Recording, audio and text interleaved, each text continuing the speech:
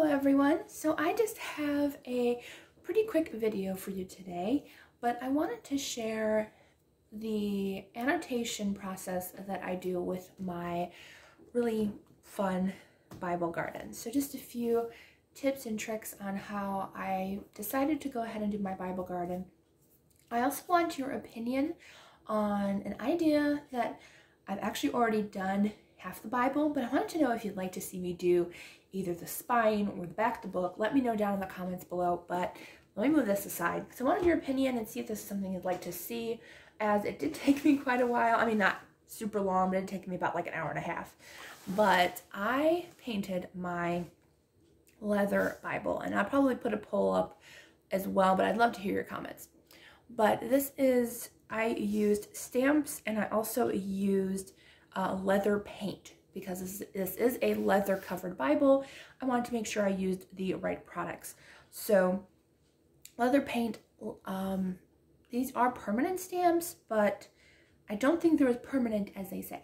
So I wish I used StazOn ink because I know that works well with leather, but I used a different ink and it works okay um because I wanted more of like a kind of shadow effect and then I used the paint for the leaves and the flowers. So if you'd like to see a process video on this, I would be happy to do it. Um, I'll most likely speed through it because yeah, it's an hour and a half long probably. Um, but this is the inside, which I really love it. I had this plain, this is what it looked like. You know, you can see the back. This is basically what it looked like. It was very plain, very just ordinary, and I love this Bible so much. And so I wanted to make it something special and praying to the Lord that I would not ruin it. and it turned out even prettier than I imagined. So I love it. If you'd like to see me do either the spine or the back, I would be happy to do that with you all because I think it'd be fun and something that I think you would all love. So let me know. All right, now let's get back into the original video. All right, so basically the tools that I have, I, I have two different tools that I use. Well, technically three, but it's two. I'll explain. All right, actually three. I lied. Okay. So I actually keep all my pens in here and I do not use them all. I really need to organize and just keep the ones that I actually use. So let me get out the ones that I actually use. So that way it'll be a little easier to share with you. So I really should get rid of all the all those pens. Okay. So these are the ones that I use. I don't remember what blue I use. I think I just use that blue. All right. So basically, these are my tools. All right. So first things first, I love, these are Paper Mate Flairs. They do not bleed through my Bible pages, except for some reason when I'm drawing underlining, it might bleed through like the end little dot. I don't know. Maybe I pressed too hard. but so I use a couple different colors and I'll explain colors as well. And then I have Mr. Pen highlighters, I believe. All these came from the Pastel kit. But I coordinate my pen colors with my marker colors. So you see how they match because I like to highlight as well as underline. And I saw um, one of my fellow Bible journaler YouTubers, uh, Cat Woods, she underlined as well as highlighted, and I really like that. And I, I correspond my colors together. So I use those, and I'll explain each color for my system. And then I also use, I have my sticky note, which I keep forever in here. This is my little carry-on case that I keep all my pens in. I am going to organize it and only put in the pens that I'm using at the moment. So this is my sticky note. I put it on the back of my sticker thing. So this is just a sticker book from um, uh, Recollections. This one, this is actually two stickers. This is actually a sticker sheet that I got from Michaels. And this is a sticker book. But I like to keep both together because that way I have them together and I can use them. They actually almost are the same size, so it works great. But I have a system for both the hearts and the flowers, and I'll show you that as well. And I love this one because this sticker book has small flower stickers and that's what I love to use. I love to use the little flowers in here. I don't use the big stickers too often, but just these little ones are absolutely perfect for what I'm going to show you. Okay, so let's get into here really quick. I'm not sure if I made a list actually in here, my color coding. No, I don't think I did. No. Okay, so I thought I did, but that's okay. All right, let's go to an example here.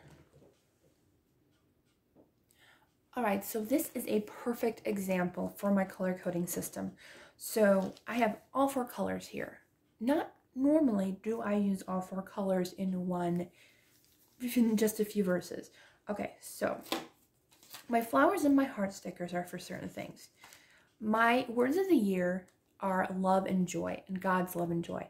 So anything that describes uh, joy for the Lord or God's joy for us gets a flower. So the flower stands for joy, um, not the extra flowers like the decoration, just the small ones that usually end up by a verse. So um, for this one, be joyful in you is what that flower stood for, for that verse, which is uh, Psalm 5, verse 11, the last part of 11. And now you know that the blue stands for joy. So anything that describes joy in my Bible garden gets a blue.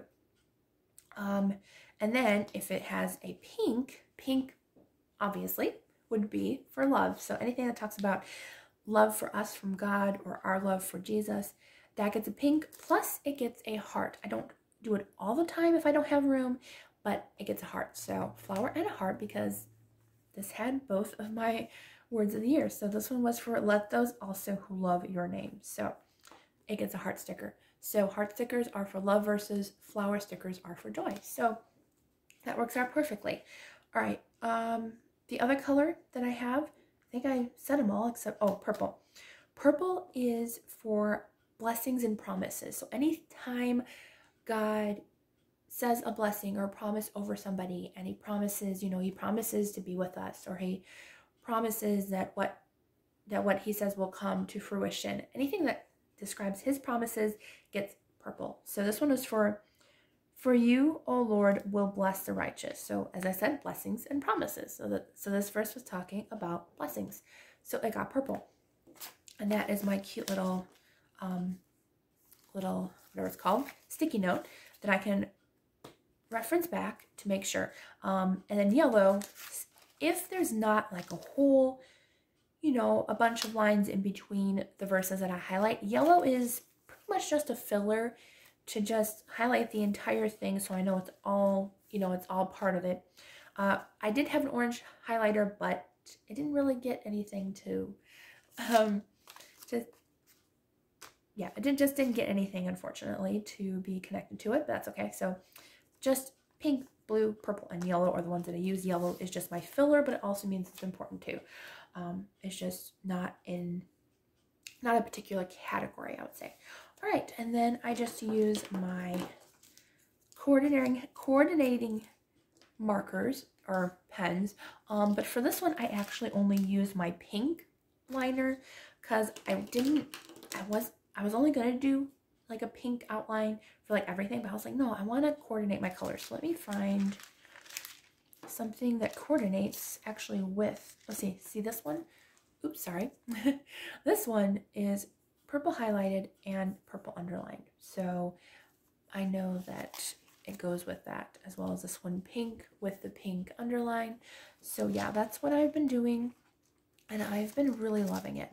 So this is actually funny. I did the colors of the rainbow or as close as I could with what colors I had for God's promise with the rainbow talked about in Genesis. So I thought that was kind of fun to do that. And then this entire purple section underlined in purple. So yeah, um, that's pretty much my entire process. There is kind of a little room for notes, but not really in this Bible, um, unless you write really small. I know some people do, but I write pretty big. So unfortunately, um, not really for note taking. That's why I do like the the tip-ins or the journaling pages, you know, just some little things here and there.